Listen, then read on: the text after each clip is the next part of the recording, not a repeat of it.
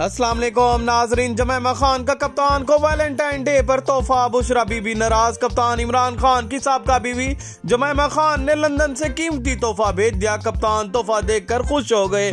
लेकिन कप्तान की मौजूदा बीवी, बुशरा बीबी, नाराज़ हो गई। जमैमा ने इतना कीमती तोहफा क्यों भेजा? आज की इस वीडियो में आपको तफसील से गा करेंगे। नाजरीन, जैसा की आपको मालूम है की कप्तान की पहली बीवी जमैमा खान इमरान खान पर आज भी जान निचावर करती है। जमैमा खान कप्तान से अलहदा तो हो गई, लेकिन कप्तान के दिल में आज भी जमैमा खान छाई हुई है। क्योंकि कप्तान के दोनों बेटे कासिम और सुलेमान खान जमैमा खान से हैं। नाजरीन जमैमा खान ने इमरान खान का साथ हर दौर में दिया, क्योंकि जमैमा कप्तान से बेहद प्यार करती हैं। जैसा कि आपको मालूम है कि कप्तान की सबका बीवी, कप्तान की दीवानी क्रिकेट दौर से रही हैं। मोहब्बत की और फिर शादी करने में भी कामयाब हो गई। व्यूअर्स, जमैमा खान ने यह तोहफा भेज कर दुनिया को हैरान कर दिया। कप्तान दुनिया का मकबूल तरीन लीडर है। कप्तान की पूरी दुनिया दीवानी है। जैसा कि आपको मालूम है कि कप्तान पर आजकल तोहफों की बारिश हो रही है।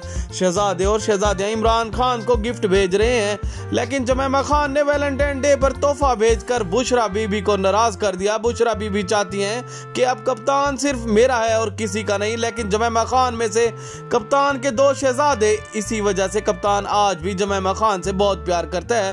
व्यूवर्स जमैमा खान ने कप्तान को वैलेंटाइन डे पर गोल्ड प्लेटेड बैट तोहफा भेज दिया, जिस पर डायमंड भी नस्ब है। नाजरीन, इस गोल्ड प्लेटेड बल्ले की मालियत तकरीबन 10 करोड़ रुपए है। जैसा कि आपको मालूम है कि पीटीआई का इंतखाबी निशान भी बल्ला है। जमैमा खान को दौलत की कमी नहीं क्योंकि वो एक मल्टी बिलीनियर गोल्ड स्मिथ की बेटी है। जमैमा खान का मजीद कहना था मैं आज भी इमरान खान की बीवी हूँ। घड़ी इमरान खान को मिस करती हूँ और मेरी दुआ है अल्लाह पाक इमरान खान को लंबी ज़िंदगी दे। आमीन। नाजरीन जमैमा और कप्तान फैमिली के बारे में आप क्या कहना चाहेंगे? अपनी राय कमेंट्स बॉक्स में ज़रूर दीजिएगा।